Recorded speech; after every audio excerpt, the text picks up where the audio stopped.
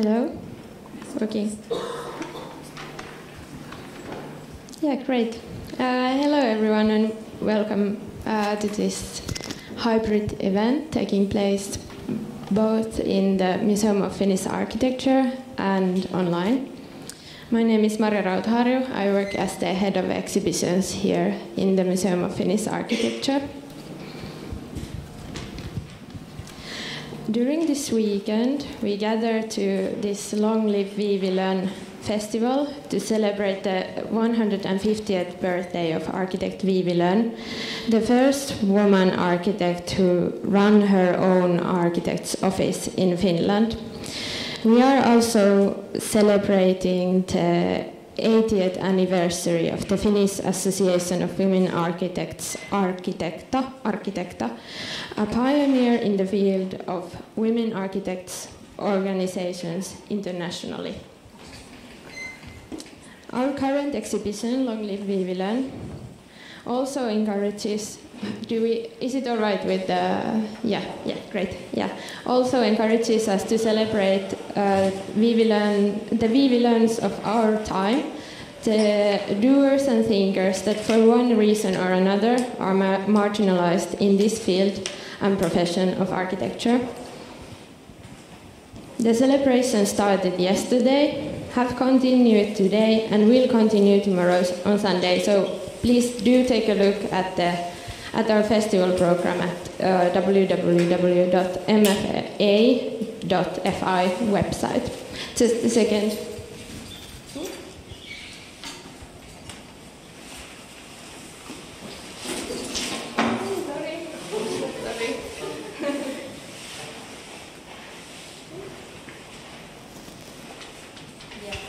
Everything's great. Um, this is the this is my slapstick part. Okay, we're done. Uh, yeah, I will continue a bit. Uh, so we have invited the Frame Contemporary Art Finland to join us to celebrate and bro broaden the questions of equity, equality, architecture, and space to even more intersection, intersection directions and to bridge practices of art and architecture. This redistributions event is hosted by Frame Contemporary Art Finland as a part of their Rehearsing Hospitalities program and as collaboration with the anti-racist platform Stop Hatred Now and us, the museum. Uh, we thank you for this collaboration and participation. And so before, before, before we, no, let's see. Yes, thank you. Before we start the discussion, I want to remind everyone about the principle of safer space uh, that are used both by the Museum of Finnish Architecture as well as Frame Contemporary Art Finland. In this event and the museum in general, we want everyone to have a safe experience and to be able to participate as themselves without fear of discrimination or harassment. Um, the principle of uh, safer space can be found here in the museum in the leaflets uh, for those who are present and also uh, in the museum website and probably we will be linking them on the event chat for those who are participating mainly online. Also, uh, you can find it, the museum's principles here in the first floor lobby of the museum.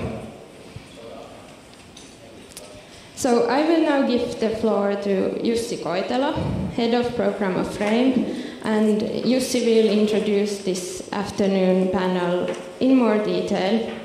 Thank you and welcome.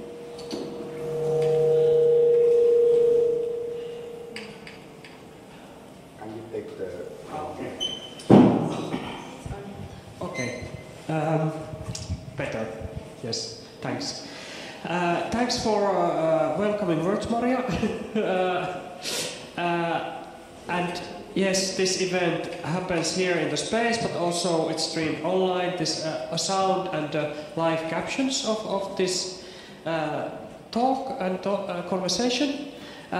so people can also participate online and, and see the stream on Frame's YouTube channel and uh, also on the website of Stop Hatred Now. Uh, so this redistributions roundtable discussion uh, uh, presents different approaches uh, to redistribution of power and wealth uh, while examining institutional and educational in infra architectures. Uh, this is part of the Frames Rehearsing Hospitalities program, as was mentioned earlier. Uh, it's the program we, we've been running uh, from 2019, uh, and it has, has different focuses, kind of interlinking with each other. Uh, and this year, uh, the program focuses on kind of uh, to how to deal with the redistribution of power, wealth, and resource, resources um, in the field of art, uh, but also in the society larger, and how those two, like how those things can be interlinked with each other.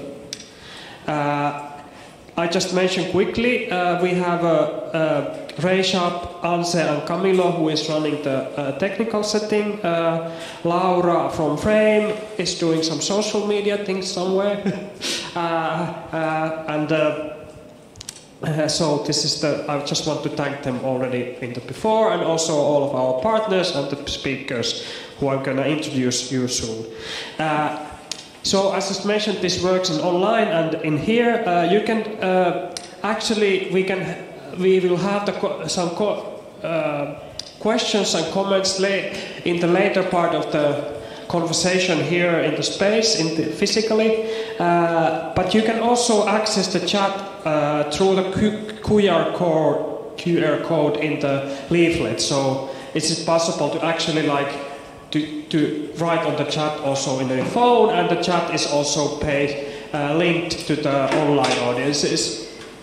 Um, so yes. Mm, now I just say a few words about the speakers, and I just want to also uh, maybe in some point Noah can say if, if he doesn't hear hear us. Noah is from speaking from New York, but I will uh, start with the um, Ale, Alemanji Aminkeng, who is here. Um, uh, he is a researcher in issues of race and racism, anti-racism and anti-racism edu education. Uh, his research focuses on developing different strategies of and methods of anti-racism, anti-racism education in and out of schools. He's currently a program director for Master of Social Ex Exclusion at Åbo Akademi University uh, in Finland. Uh, each of the speaker will present quickly or like somehow uh, say some, like around 10 minutes at the beginning uh, and then we have a short break and then we go into conversation. Uh, then we have Milla Kallio here. Uh, uh, Milla Kallio is a co-founder of Femma Planning, an urban planning collective specialized in participatory planning. Uh, they are studying places and their identities as well as experiences of residents together with local actors. Uh, and then we have uh, Noah Fisher speaking from New York uh, through online connection. Um, uh, Noah is a Brooklyn-based maker, performer, teacher whose work, work asks how is art affected by financial power and what can be done about his about uh, about that. Uh, his work has been seen uh, within and without invitation, for example, at Guggenheim Museum, MoMA uh, Museum of Modern Art, Brooklyn Museum, and Venice Biennial, of 56th Venice Biennial, uh, Berlin Biennial, and Whitney Biennial. Uh, yes. Um, so we have uh, short presentations by the speakers, and then we have a break, and then we go into conversations. Uh, but I just wanted to say quickly that I asked um, some of the sp speakers to actually like open up uh, or answer a couple of questions related from their own perspective and from their pra- practice uh, and the position where they come from. They are about like uh, questions how uh, power and, and wealth is, is accumulating in the in the institutional and public context, uh, in, the in the fields where they work, and what can be done for that through the, through the practices what they are working on. Um, and we uh, start with Alemanji. You're welcome. Thank you. Let's, let's try this. Yeah, uh, thank you. Uh, I'm pleased to be here today. And um, when you sent me the, the, questions that you wanted me to reflect on, it reminded me of a question I was asked by a friend a few years ago. That question was look around you. Um, everything that you see is uh, made by whites. This actually, the civilization that we have today is designed by whites. Can you argue that whites are not a superior race? It took me a while to answer that question by the person who asked the question. And um, actually, I gave an answer which was like very vague. When I went home and thought about it, I realized that I didn't answer the question fairly. So maybe I have a chance to answer it today better. So, power and wealth. My father is a farmer in Cameroon. He works six days a week. But he is considered poor. Finnish farmers, my, uh, my daughter's grandfather is a, is a farmer as well, a Nastola. He only farms in the summer. He's far richer than my father, who works six days a week, every day throughout the, uh, six days a week, every week throughout the year. The question is, why? So, if we go back to look at the world in which we live in, one of the things that we have to understand, I'm going to cite uh, one of my friends, uh, Andrews, who says that the world can only be as just, as fair, as equal as the knowledge upon which it's built. So if you think about justice, freedom, equality, you have to ask yourself what knowledge are you basing your understanding of freedom, justice, fairness, equity, and equality? So I want to I want us to go back to, to the past to kind of understand why where we are today. I uh, consider the 15th century as the most defining period, which has actually influenced who we are and what we are today. And uh, a lot of things happened during the 15th century, but the most significant thing that happened in the 15th century was the discovery of uh, America by Christopher Columbus. Uh, before that time, Europe was not on top of the world. Europe was, as, was the same like any other continent. But upon discovery of uh, the New World, uh, Europeans could go in there and um, the first thing they did was they committed a, um, a genocide, killed the people, and took, started, mining the gold. But gold wasn't what made Europe successful. What made Europe successful was farming in the New World. They could farm sugar and cotton. And that gave Europeans an edge in terms of civilization, in terms of race, in terms of everything else. Because based on the produce from sugar and, uh, and cotton in the New World, Europe actually, actually went to Africa, told the Africans that you're not good enough, you're, you are less than humans. We'll take you there, we'll take you, to the, we'll take you to the Americas where you can work as slave and use that wealth to build Europe. So Europe is built upon the sweat and blood of other racial groups or other people in different parts of the world. So if you think about the superiority and wealth and power that we have in Europe today, it all stems back from what happened then in the 15th century. But that wasn't just the only significant thing that happened. Um, in 1735, um, Carl Linnaeus was, was, a, was a Swedish botanist. He was the first person who came up with this whole idea of um, racial hierarchies.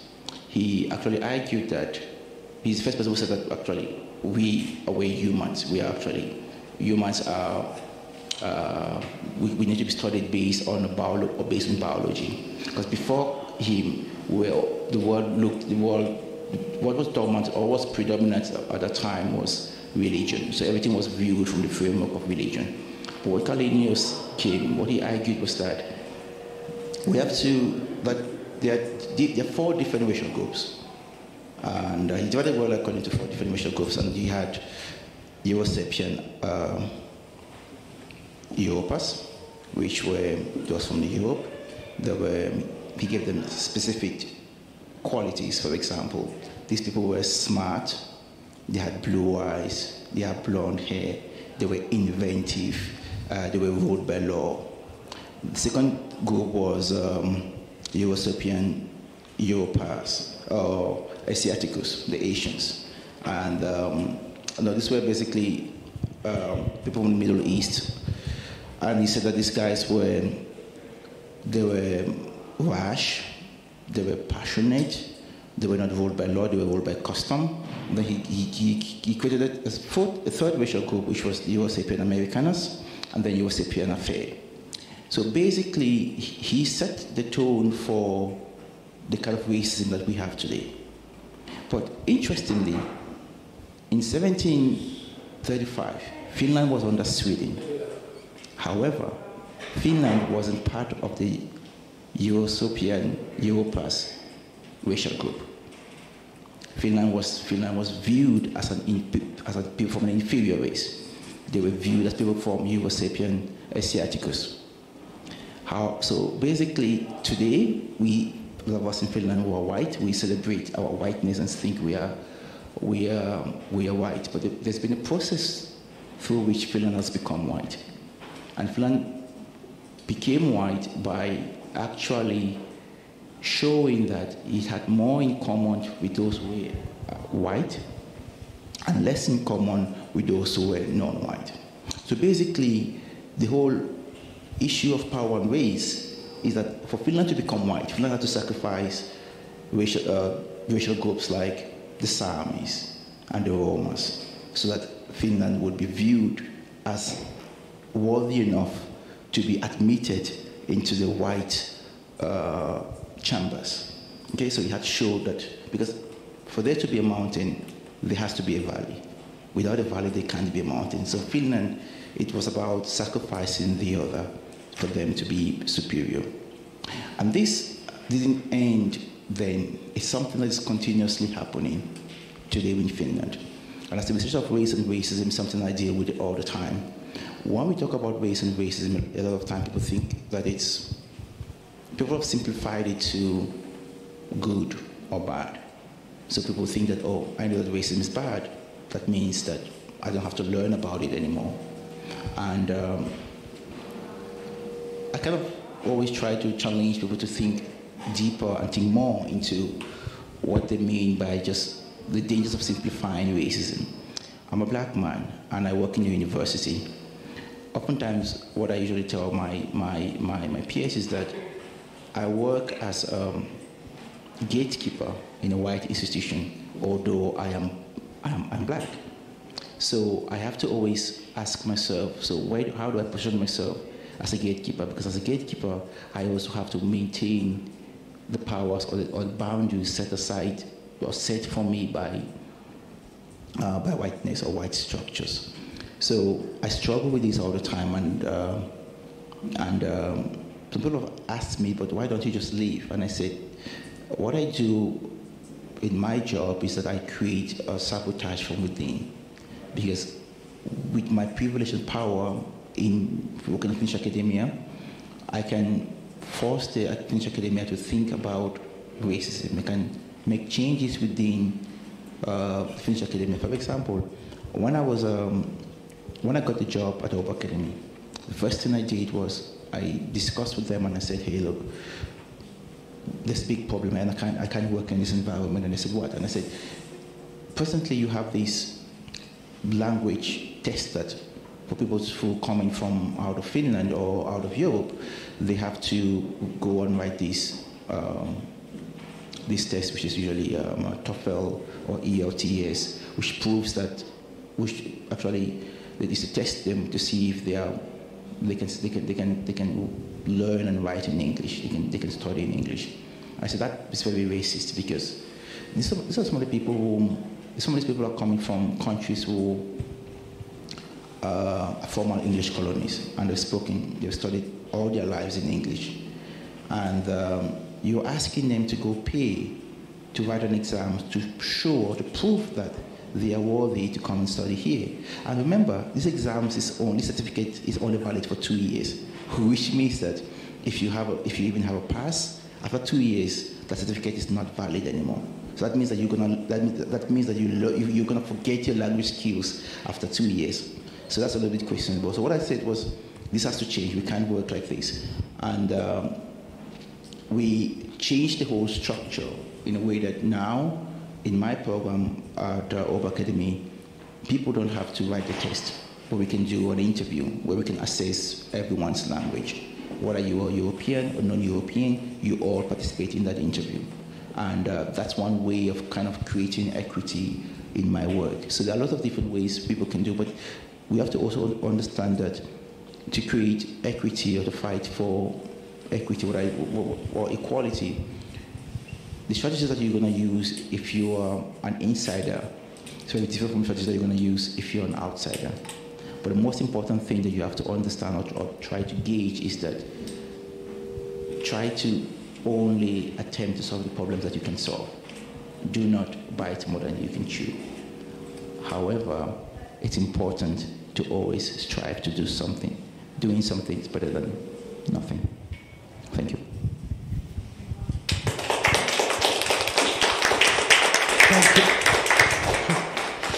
Thank you, Thank you. Uh, I think we're gonna next hear from Milla, uh, and also maybe, yeah, there's a lot of points to kind of uh, discuss more.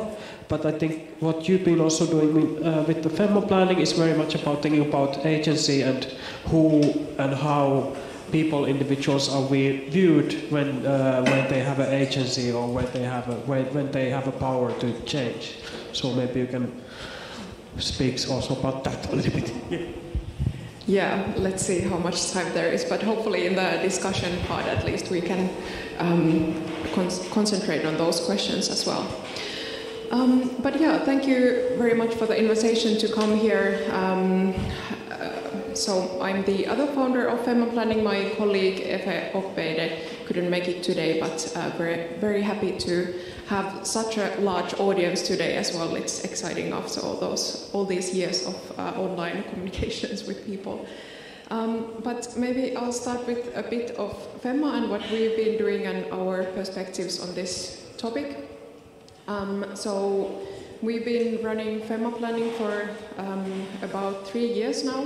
Before, before we started this company, we also uh, did a, a, few projects as a collective, but now we are both uh, doing um, business projects as a company and then more of these uh, free um, or art-related projects with uh, different fundings.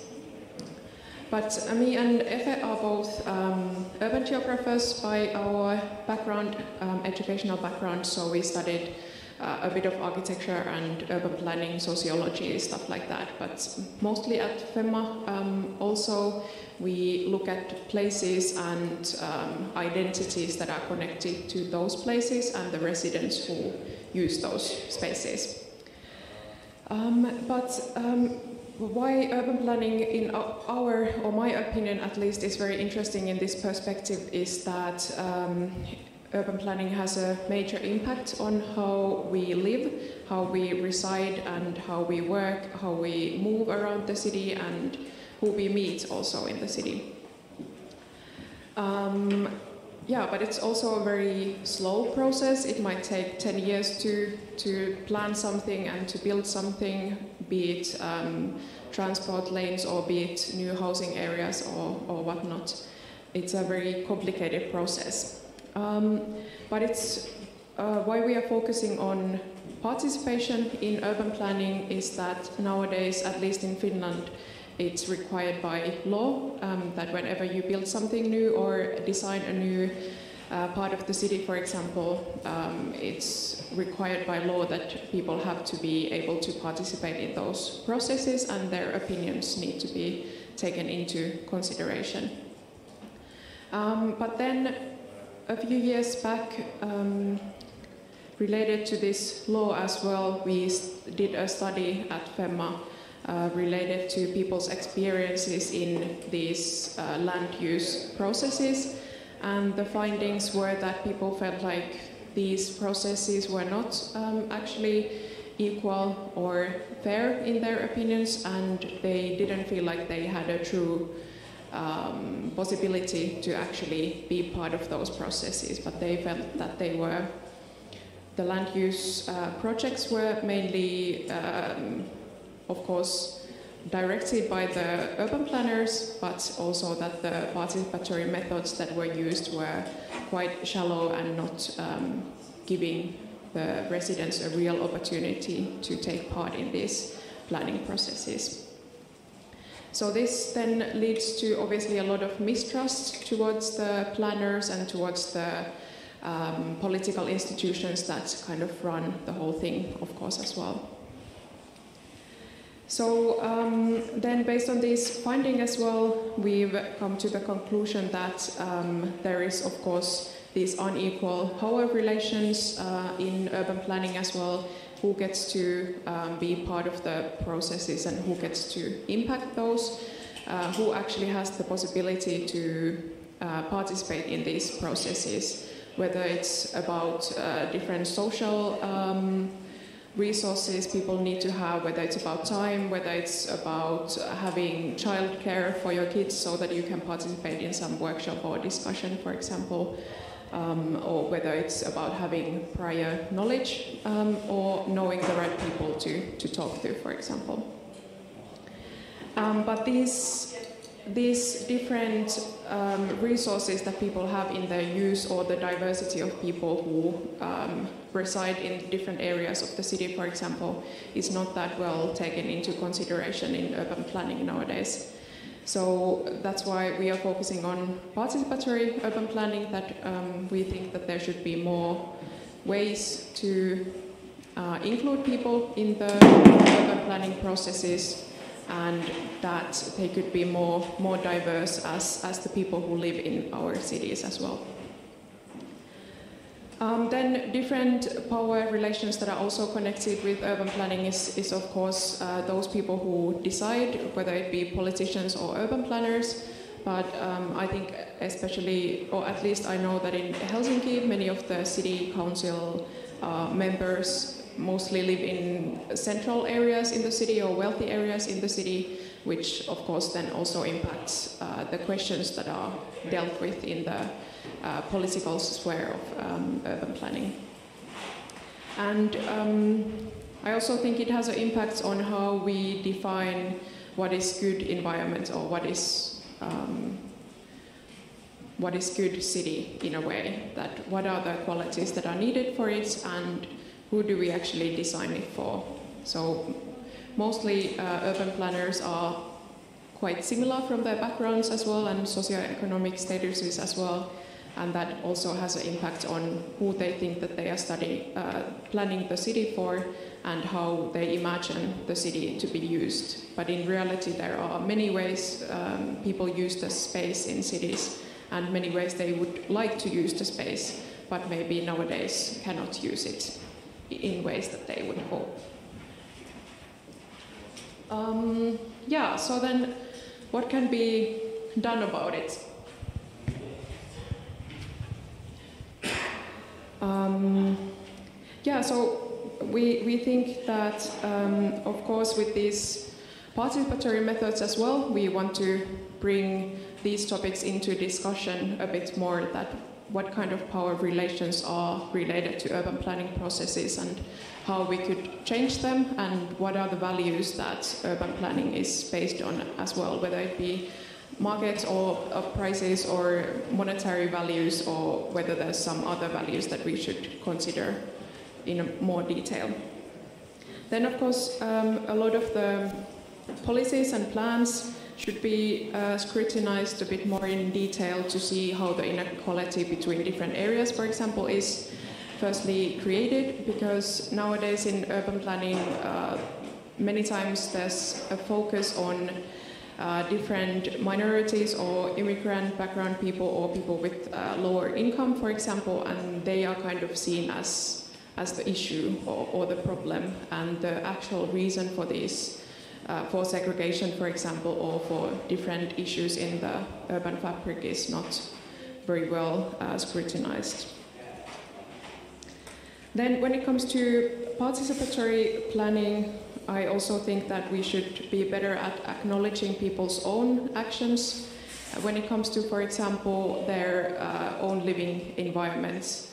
Many times in urban planning, we kind of blame people for not participating in workshops or questionnaires or different events, for example, but then we fail to recognize their own actions in uh, their neighborhoods, for example uh, when it's not connected to the official um, participatory uh, ways that the city, for example, has.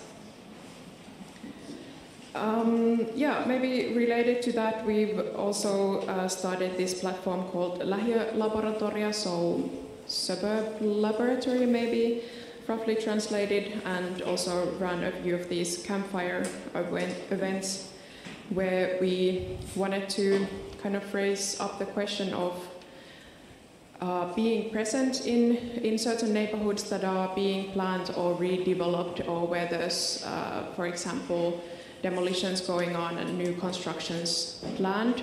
Um, but at least in Helsinki, most of the urban planners are centralized in the city or in the central uh, part of the town.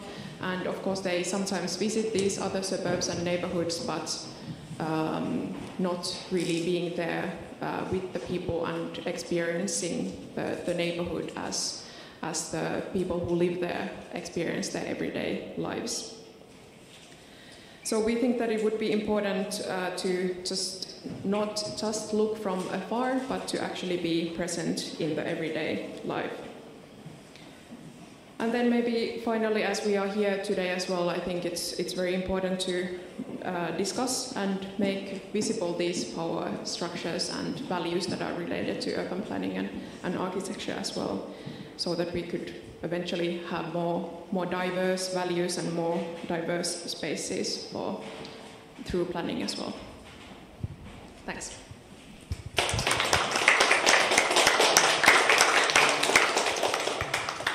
Thank you, Milla. Uh, I think, uh, yes, so much questions popping in my mind and the kind of connections between your, between your uh, talks. Uh, just then we go to Noah's uh, turn and Noah's Fischer's turn. Um, and also he has time about similar time, like about 10 minutes, and then we have a short break, uh, and then we have a conversation.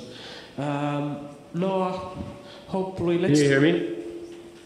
Yes, I think we can hear you. Good. Okay, apologies. Mine is actually a little longer. I don't know how to deal with that, uh, but I'm going to start. So, um, so uh, I want to speak on left-wing populism in connection to redistribution, gatekeeping, and cultural institutions. So let me tell a quick story of my work in the last decade or so uh, to bring out some examples and questions related to this theme it's of course in the US context that I'm speaking, and I understand that in the Finnish context, because of the funding structures, it's very different. Maybe that will lead to some interesting discussions. So I want to begin with the Occupy Wall Street movement, which was a left populist movement seen in its famous line, We are the 99%. Uh, in Occupy Wall Street, we spoke in phrases such as, the game is rigged. And this was meant to point out the ubiquitous revolving door between public and private institutions in the, in the US specifically. And that where the same people would serve the public good only to turn around and work against the public for private accumulation. This had been highly normalized in the US and it still is today. To, to use an example, which I'll try to carry throughout my talk, my short presentation, take the figure of Larry Fink. Fink was a CEO of a then smallish financial security company called BlackRock. In 2008, Fink was called into the Federal Reserve to help sort out the bad housing debts. And soon after that bit of service, apparently having absorbed valuable public knowledge and government connections, BlackRock grew astronomically in size to today become a $10 trillion uh, asset manager, the largest financial company in the world. The steep rise of BlackRock after 2008 tracks with the diverging outcomes of the rich and the middle class and the poor because the debts which BlackRock traded were simultaneously acting as assets for the rich and sort of chains for everybody else. I mention Larry Fink because he is also an important art world figure, a collector and a trustee at the Museum of Modern Art. From within the Occupy movement, I co formed a group called Occupy Museums, which worked to connect left populism to the discourse around art institutions. We did this through direct actions. At first, people asked, Why are you attacking the museums? Why not the bad institutions like the banks? Um, here's why. We thought the leading art institutions played an important role in the sort of power the elites were concentrating, specifically the financial and real estate industries, but not only, uh, that, that, that, that were represented by trustees and funders, for example. This power concerned their reputations and their social licenses to operate. There were other reasons, such as the art market being a site of global money laundering. And strategically, we saw the museums as the softest of the major institutions. They were more vulnerable because the elites wanted something from the public. They were trying to develop their reputations. In other words, they were claiming public service. And so they would care more if there was bad press. Uh, one example of our actions was at MoMA, where Larry Fink was a trustee. MoMA and Sotheby's shared some trustees at the time. We marched and occupied and hung banners in the museum to call out this conflict of interest because it was easy to imagine that what was shown at MoMA could be driven by a profit motive uh, because of the link between the, the private market.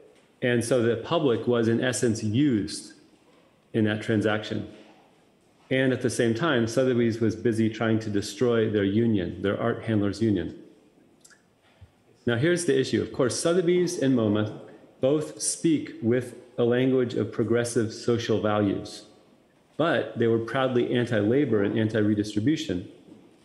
And in our series of direct action, we succeeded in changing public opinion on this to see that it does make sense to target US museums. But a change to the work occurred between the years 2014 and 16.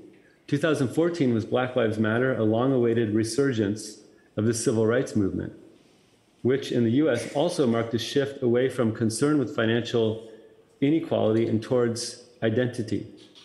Of course, many left wing activists and figures such as Bernie Sanders, Reverend Barber, were trying to create interracial working class movements but more commonly, we saw the two come apart, and nowhere more so and more successfully than in the larger cultural institutions. Um, when, when Trump was elected, this became even easier for them to do. Trump was an activist in a way, and he was very good at picking on targets. And his movement used cultural institutions and academia, and sometimes even individual artists to harness right wing populist, white supremacist resentment at the elite gatekeepers. For example, accusing Marina Abramović of Satan worship.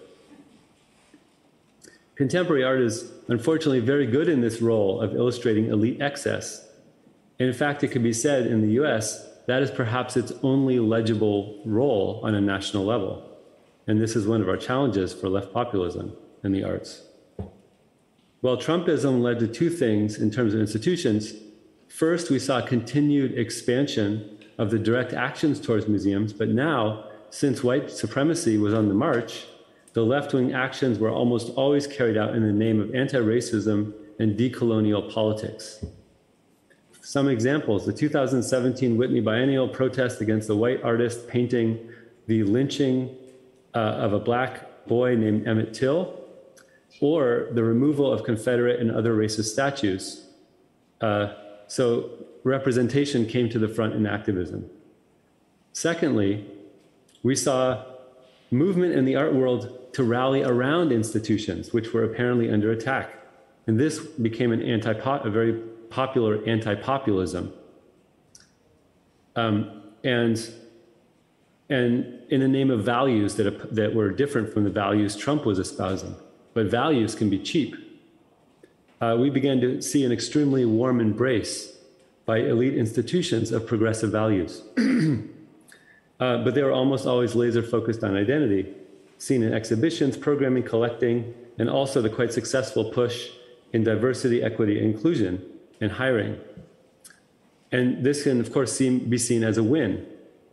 But unfortunately, it's uh, from especially from a less populist perspective, it's a win within a zero sum game. Uh, because this reflection of progressive social values has acted as a kind of fog to obscure the fact that the institutions are more than ever intimately tied to the wealth gap, which is growing unstoppably the whole time. And we begin to forget that left politics even concerns this wealth gap at all.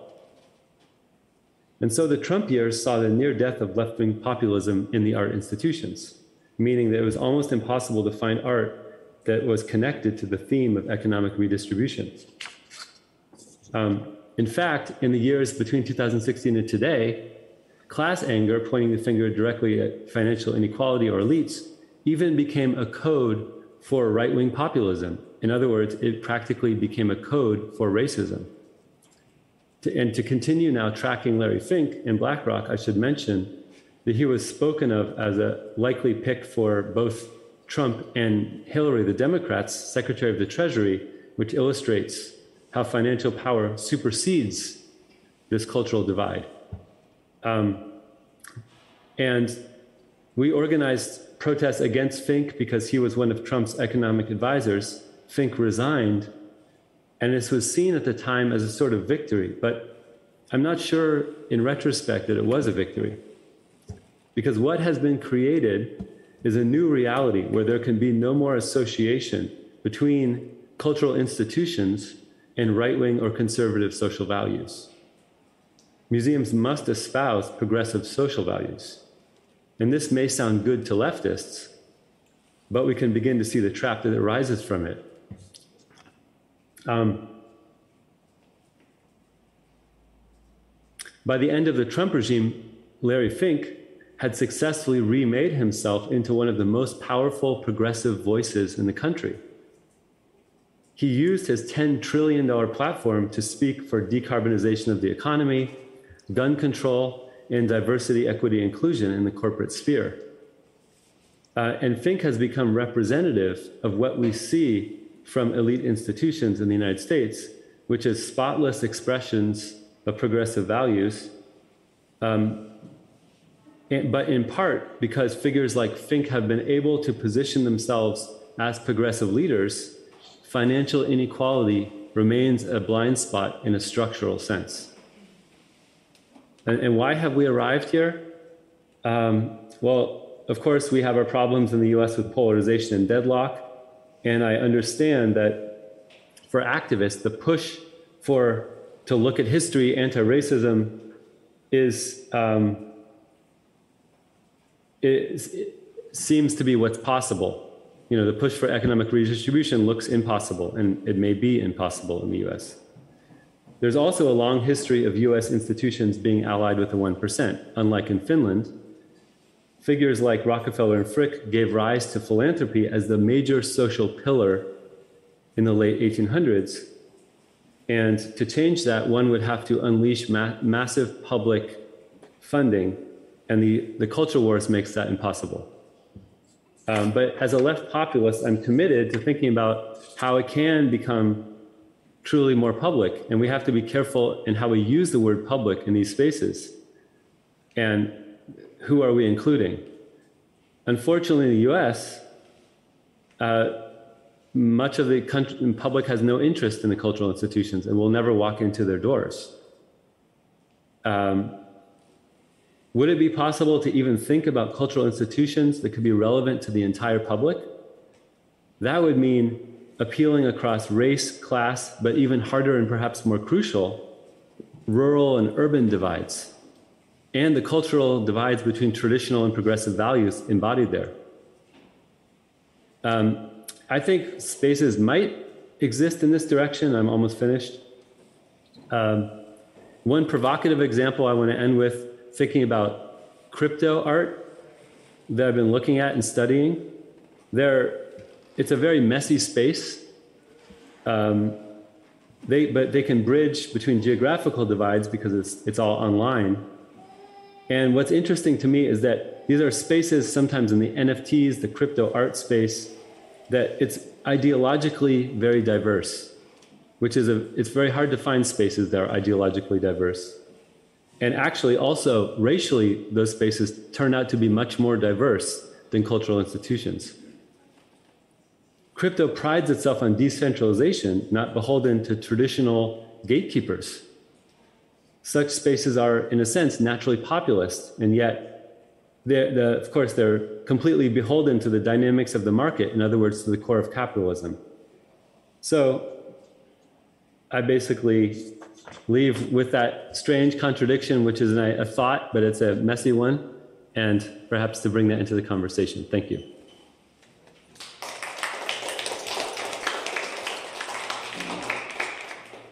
Thank you. Thank you. Uh, now we will have a five minutes break, so you can go to toilet and have a water if you have the water, uh, and then we come back to the conversation. Yeah, please come back. Don't leave. Yeah. Thank you,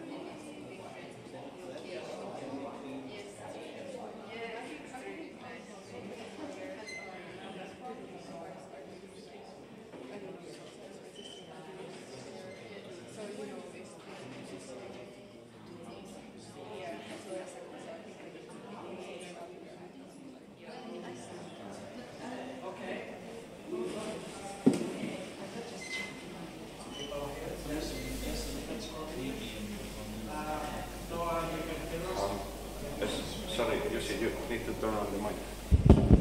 Okay, now, now, sorry. Uh, yes, uh, uh, thanks for the short uh, presentations. Uh, uh, I just wanted to like maybe continue, par- start the discussion part by asking you. Um, I will come maybe in the, I just want to say in the later phase, I think want to discuss something what Noah mentioned about this um, position between the between the uh, like a leftist or populist leftist position between the distribution of wealth and the identity politics, which is I think is the kind of uh, something uh, confrontation or, or uh, challenge which is somehow hanging in the, in the air in the kind of current uh, social discussions or political discussions maybe. So it would be nice to kind of go that, but I don't want to go it directly. Uh, just wanted to maybe hear just uh, ask from all of you um, you also already somehow discussed it about it, uh, but when we were speaking earlier, I was very kind of a thought or thought quite a lot of that, like how one or individual or community or group of people uh, become or, or you all gave somehow maybe some historic his, uh, kind of uh, history examples of that or understand like how how people become someone who can be in the power, who can possession power, uh, who can um, who can use wealth or, or direct flow of capital or something like that, uh, or who has the agency. Um, it's interesting to somehow kind of maybe like speak about that or um, how how this happens in your field. Uh, you all all somehow maybe touch it upon this a little bit uh, but would be nice to hear. I would like to just hear a little bit more about that.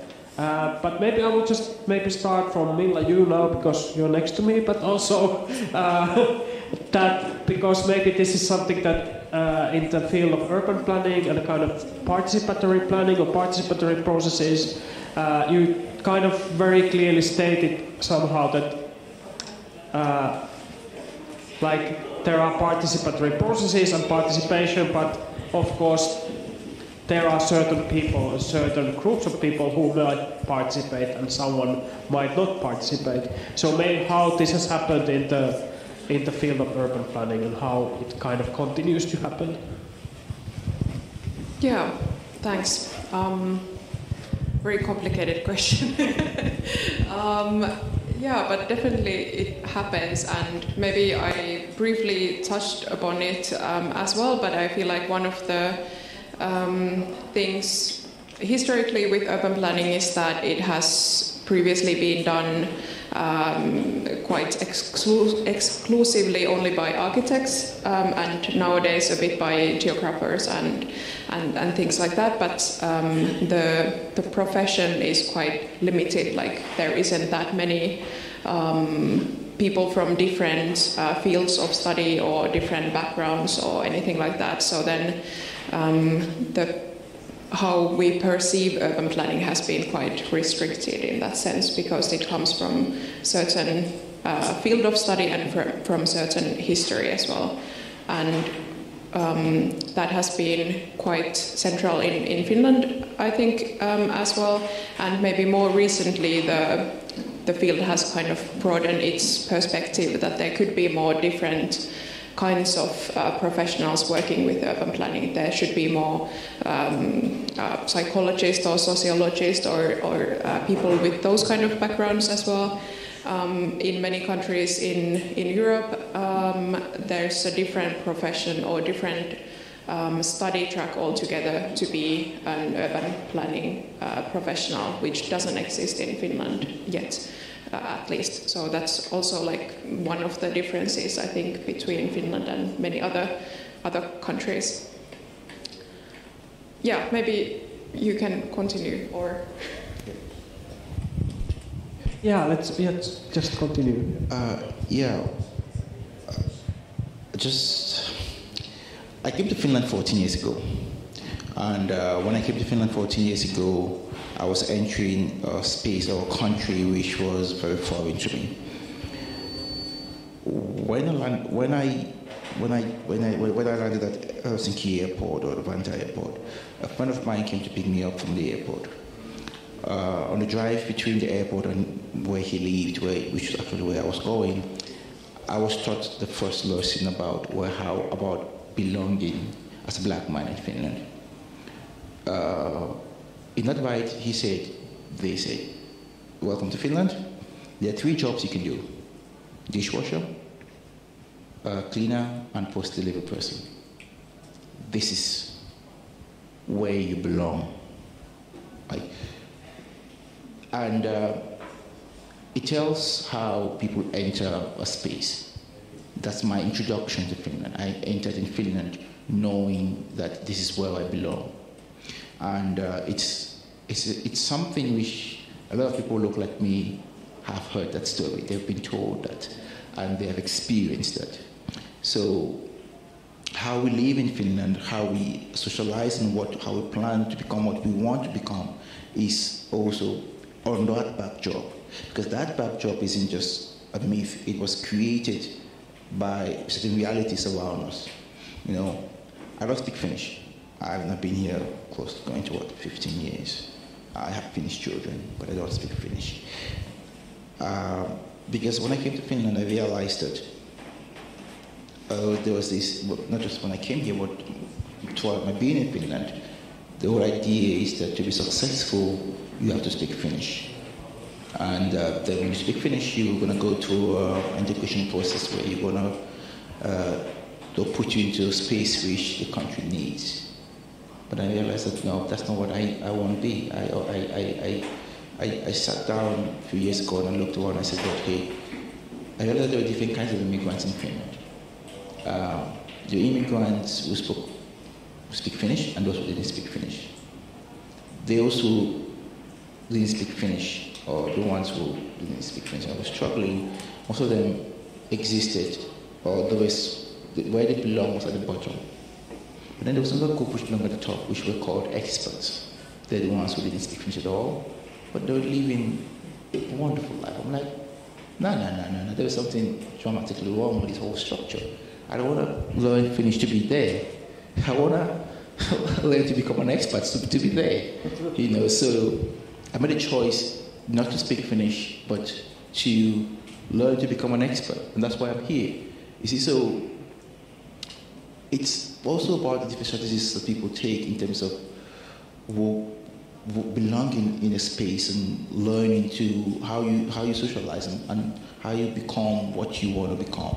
So just just brief, brief gist of what I can say for now. Thank you. Uh, Noah, maybe you would also want to react on this question, and I especially was thinking about the uh, like the activism related to financial structures and power in, in, in museums, like how you become how you become um, a person who, who has the who has the agency on that world. Like uh, maybe the answer is quite clear, obvious. I don't know, but it's also kind of interesting to see like uh, how certain people, maybe yourself, your own position also is first perceived. What does it um, requires you to be in the position to challenge the and, and gather gather people to challenge the public in, or the institution, art institution uh, as such, or something like that. Uh, maybe. Sure. Yeah. Yeah.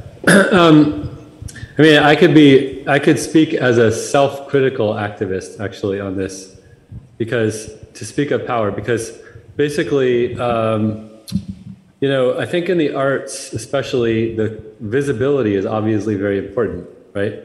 And, and because like what are museums? What are museums? They're like, you know, machines for for making things visible.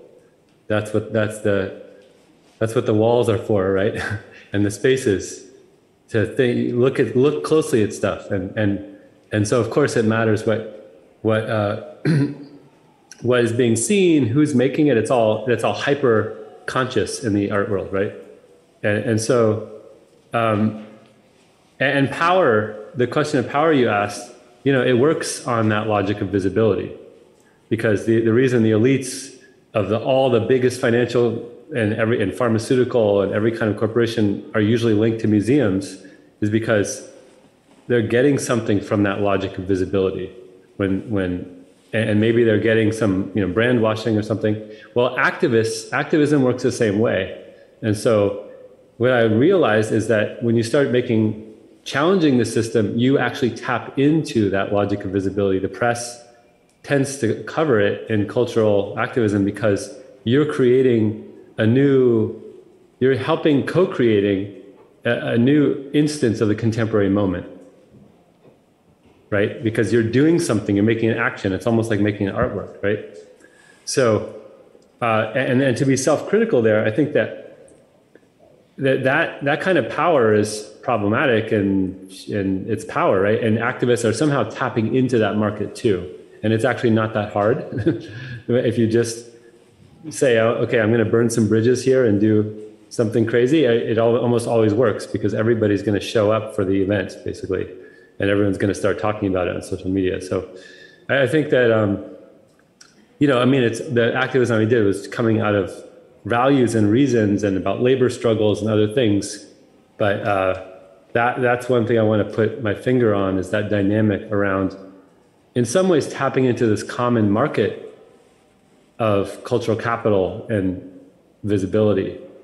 And I think that that I, feel like that is a that's something that activists could reflect on more, because for example, there's certain public exhibitions that they're so famous that activists can't resist doing actions there.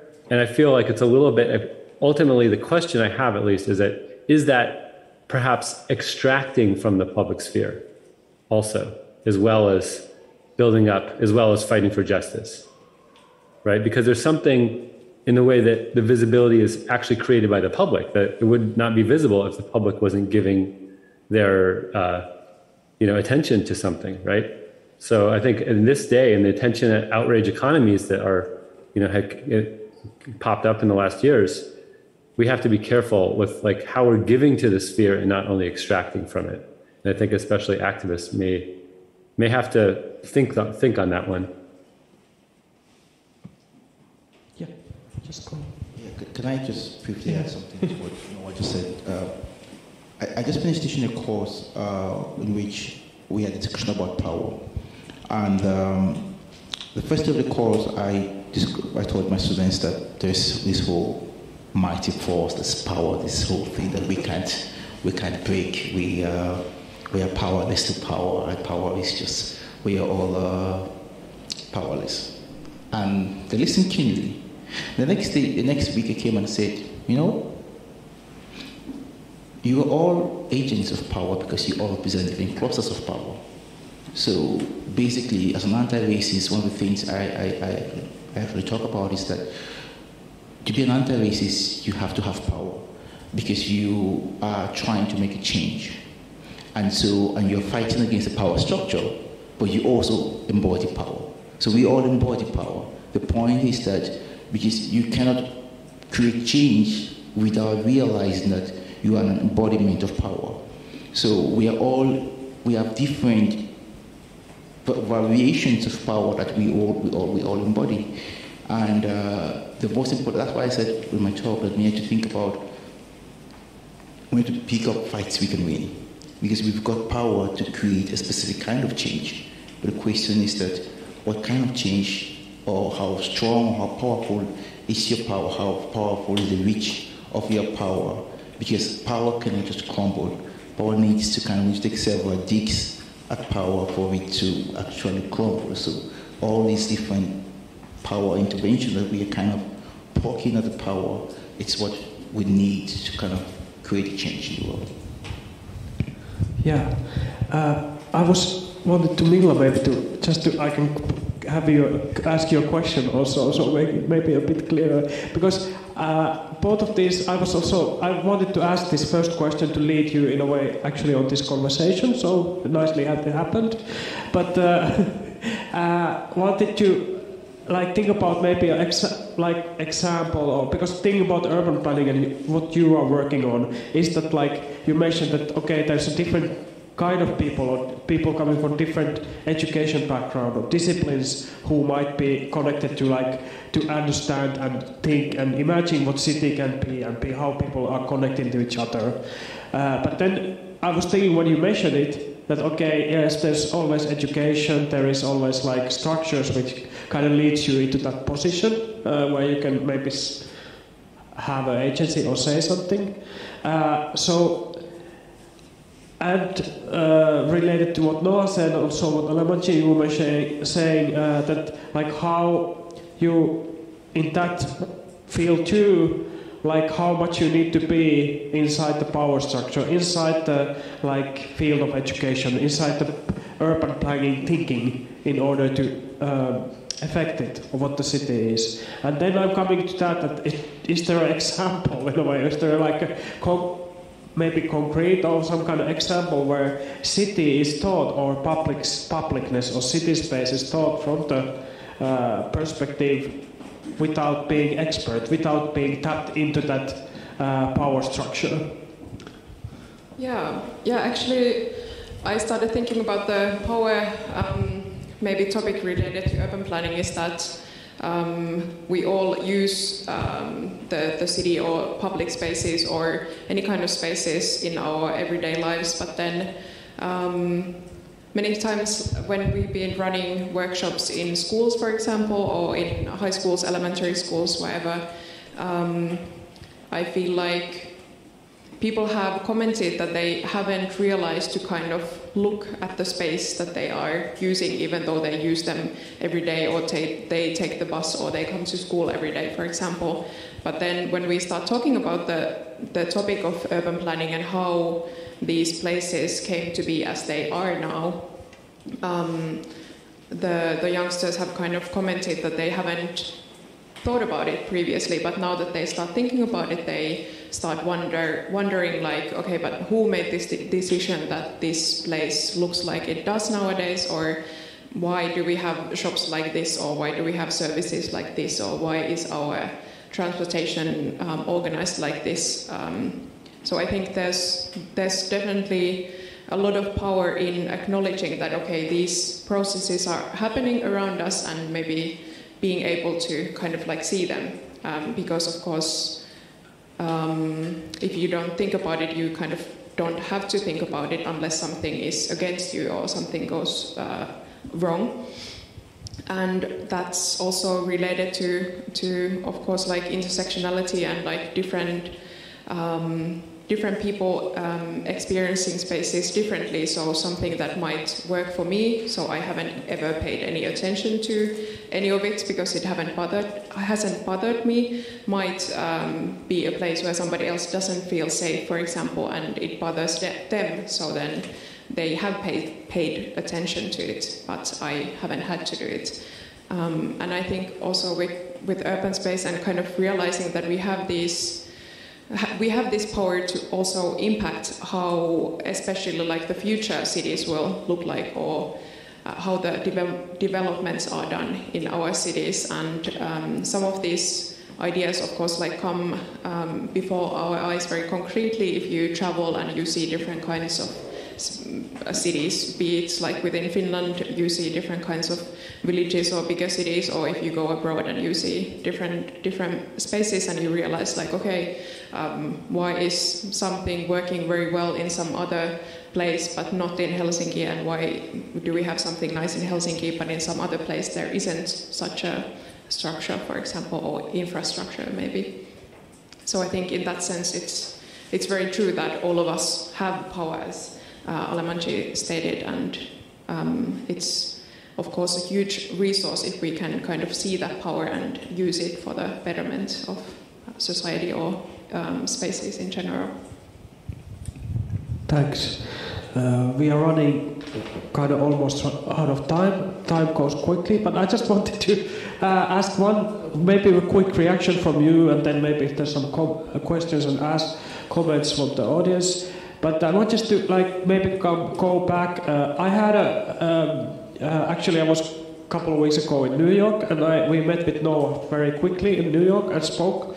Uh, about this uh, and also some thematics and things related to the conversation. Um, and then, Noah, you, were, you mentioned that, like, in a way, a little bit provocative. Provo- it's a kind of provocative claim also for me, and uh, maybe, maybe for, maybe for in the conversation that uh, in a way, there cannot be, I don't know, it is not like what you directly say, but I try to remember.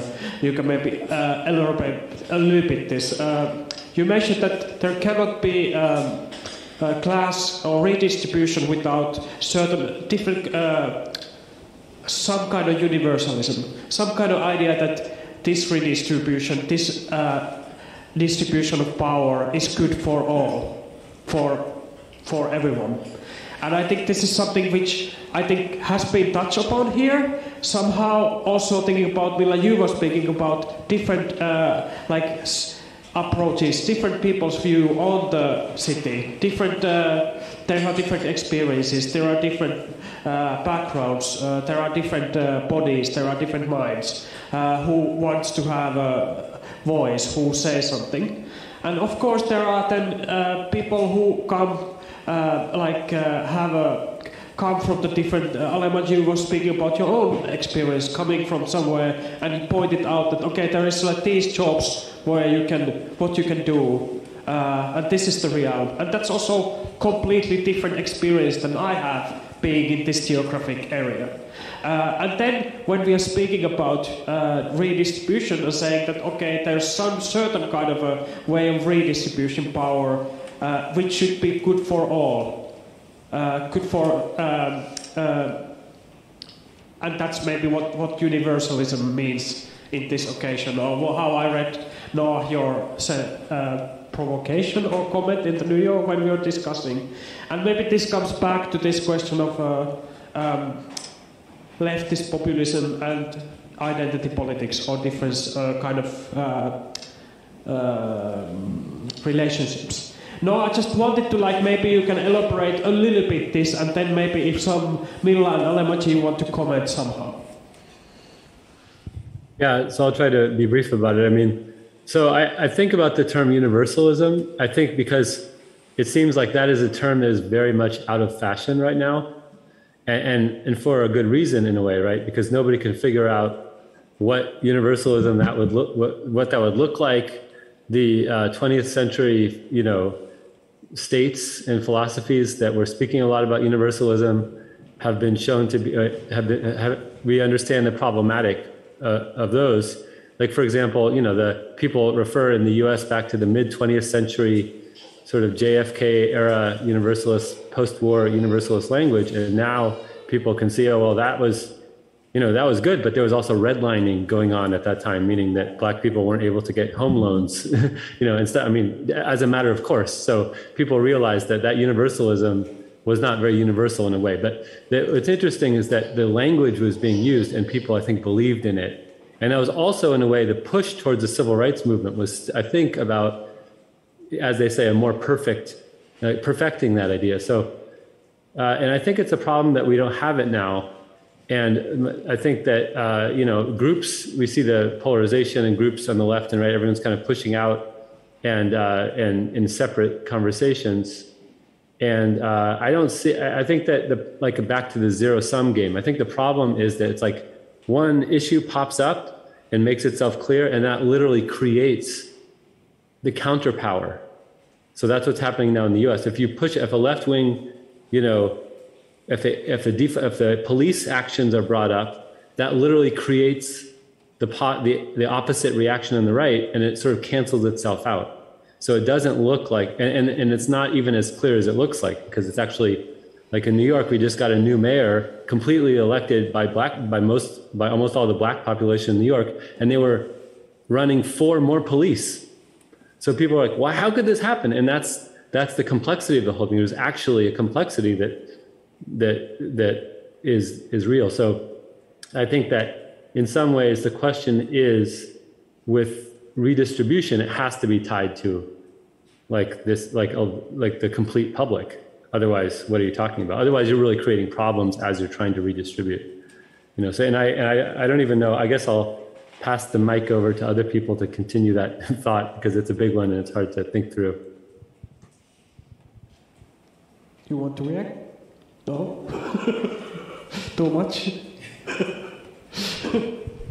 yeah, yeah, thanks. Definitely um, very difficult but very interesting topic. And I think um, maybe not even that related to this, but uh, came to my mind that when we first started working on on urban planning and um, our company, we were um, mostly focusing on um, maybe socially like inclusive urban planning, feminist urban planning perspectives like these. But then after some, some years and more experience in the field, we realized that um, maybe that's too much of a narrower perspective on urban planning as well, because it's always connected to, to wealth, as we've been talking about um, today, but it's also uh, connected to um, ecological uh, sustainability or um, equity, and all of these topics are so interconnected that it's qu- quite difficult to talk about like um, social equity or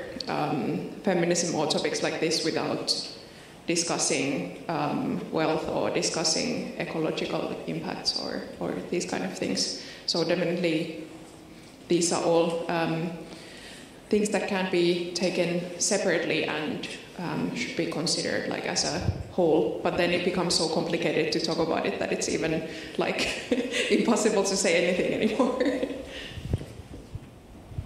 yeah. Um, I can take this discussion many different places, but I want, I want to do it very simple. Um, I was once asked by, by my oldest daughter that why is it when we go to a Finnish shop, you have all these fruits, all these vegetables, which are not farmed here, and they are here at a very affordable price. And what happens to the places where these foods are coming from? And that's an example of that tells, that shows how we are all complicit in this whole, and we are all benefiting from the power structure, the, the present power structures that we have. Because sometimes people would say, but I don't really benefit from this. I'm like, we all benefit from it, you know. And these are just, this is basic understand, uh, example that we can go to any shop, just any shop in Finland. You can buy apples, or you can buy an apple, buy coconut, buy plantain throughout the year. Why is that possible? You know, where this, where, where I come from, for example, I grew up where there was two mango trees in my back in my backyard. But at some point, the mangoes, people started harvesting the mangoes before they were even ready. So now we don't have mangoes. But now all the mangoes that we farm are here, you know, in different shops at an affordable price for everyone. So what I'm trying to reiterate here is that the West is rich because the West is poor. And that's a system that is, that, that's the reality in which we live in. And sometimes we do not see it, we don't even think about it. But whatever we have here is because people somewhere else do not have or have taken away the opportunities from those people to be able to have that. Yeah. Thank you. Yeah, uh, nice to end here this part. Uh, now I just want to one, yeah, one question. yeah, okay. So we have time for one question. Uh, anyone in the audience? Everyone big like. Oh, yeah.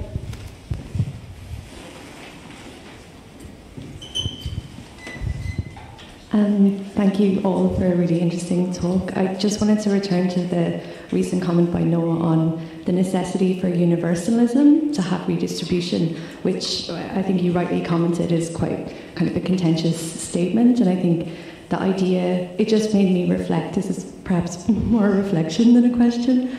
Um, who is ready for this redistribution, or what is that imaginary that we're all at the same line? Because I, I think like do does everyone even want to be considered the same? And um, for us all to be included perhaps in one imaginary ideal um, is already for me disingenuous as a like recognition of everybody's experience. And I think while the intention to redistribute is perhaps like it seems like it has so much virtue. Um, how does that exist even economically without the idea of reparations, without kind of historically addressing already such a deficit in like not just opportunity but kind of access and kind of investment and and therefore like structural decision making and choice and influence not just as someone who is participating or invited into the kind of discussion but rather that is on the kind of board and kind of yeah making the choices and it's it's just something I reflect on I don't know what the other sentiments are but I think it's it's really necessary to discuss and reflect on. But I, I, for me, I personally find the idea of a universalism like a very tricky trap, like to get into because it reduces all the effects of or the kind of attempted progress people try to make together, which kind of needs a kind of recognition and tolerance above kind of maybe these these binary ideals.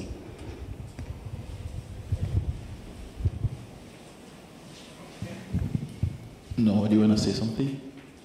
Uh, just briefly, I think that, yeah, so I, I wanted to present universalism as a tricky trap indeed, because basically, uh, I mean, I, we there's a lot of work being done all over the world in terms of looking at history and understanding. Wow, there's, you know, like you're saying, you look around and everything is how it is, and people are in one neighborhood or unable to cross one border or farming mangoes for a cheap price and one it's all there's a it's all there i mean history brought us to this point right? So to say universalism means wiping away history is obviously not going to work and not a left position you know? And i don't think it's any position. I mean because the right wing has their own idea of history as we can see with putin and stuff right? So basically uh, no it has to go together. Of course it has to go together. Reparations has in the us has in other places has to be part of it right? And I speak as a Jewish person who my understanding of reparations, you know, has it's like, what if there was no reparations from the Holocaust? Well, guess what? There are reparations, have been reparations. Germany has been paying reparations. So my understanding is like that. If you want to shift power, you have to have reparations. But however, it, I still think that it's very unfashionable to speak of universalism, and that's a huge problem. That's a huge problem. It's very fashionable to say, well, we can't have universalism because X, Y, and Z reasons. And I think that that's a, that's a problem because it's just, it's just ultimately really contributing. I mean, the work has to be done, the deeper anti racist, the structural work, all that has to be done. And also, I think it would be much more helpful if a, a universal language can be reconstructed where everyone, instead of saying half the country you know, is just backwards. We're not going to think about them. We're going to at least just talk about the people who are enlightened and, and want to change. It, that doesn't work. It has to be everybody somehow uh, a language for everyone. And maybe it's different in Finland. In the U.S., it really does seem like it's. Uh, it, it seems like people are sort of like not interested in each other very much right now. Yeah, just one short thing. Just want to just add. Um, Power is not uh, keeping, power is taking. Thank you. Thank you. It's really nice to end here. Uh, thanks a lot. Uh, we have to close it quite quickly to, in order to get uh, Caroline Kuche's performance uh, to go to there. Uh, I just want to say quickly that thanks a lot. Um, mm, where, where I have notes, I have to say this one. Um, I want to thank all of our partners. I want to thank uh, also Maria and Yemina from the Museum of Architecture specifically on uh, organizing this. Uh, also, Lisa and Sonia from Stop Hatred. Lisa is here. Uh, and I want to talk, thank all of our speakers. Uh, thanks a lot. Uh, and then also thanks a lot for Anse and Camilo uh, doing the technical thing and Reisha producing the whole thing. Uh, and yes, and for Frame team in general. Uh, and then we are continuing the program in uh, October 22, uh, so next autumn uh, around these questions and how they maybe more specifically relate also on, on hospitality and what's the trouble of the hospitality which been like noticed last three years. It has a lot of troubles and maybe here was some, some, some of them opened up. Uh, thanks a lot. And uh, Carolina's performance starts at the back door of the museum, so about now, so rush there, back outdoor door. Thank you.